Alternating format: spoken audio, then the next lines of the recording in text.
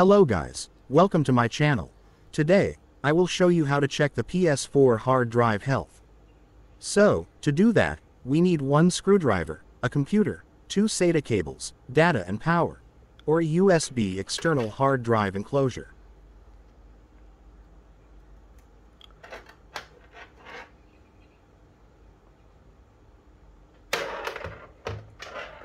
Okay, now I'll start.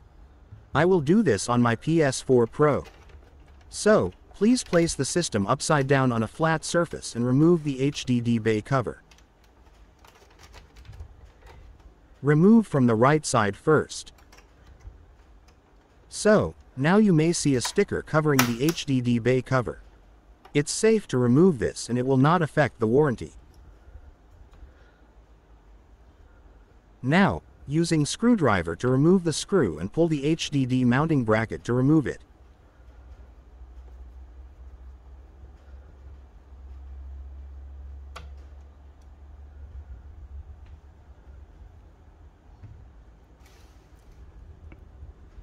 Use one finger on each hand and pull it out.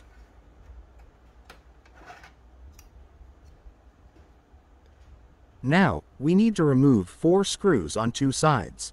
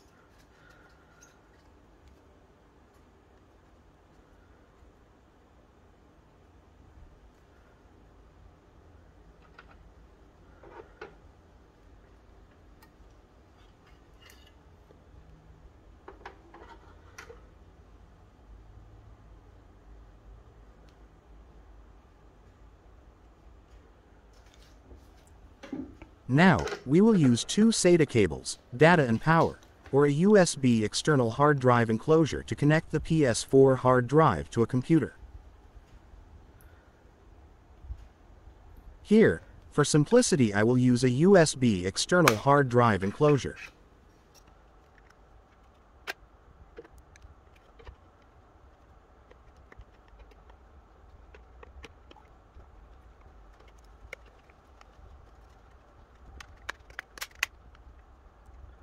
Now, plug the connection cable into the USB port on the computer.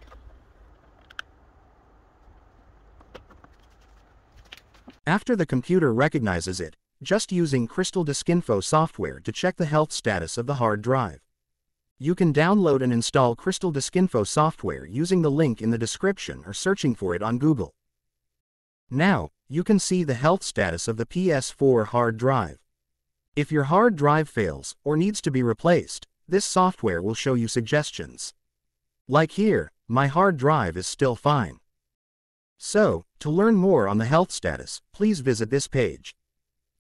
After you know the health status of the hard drive, you will have a suitable plan to fix it. That's it guys. Hope this is helpful. If you have any further questions, please feel free to get in touch or leave a comment. Thanks.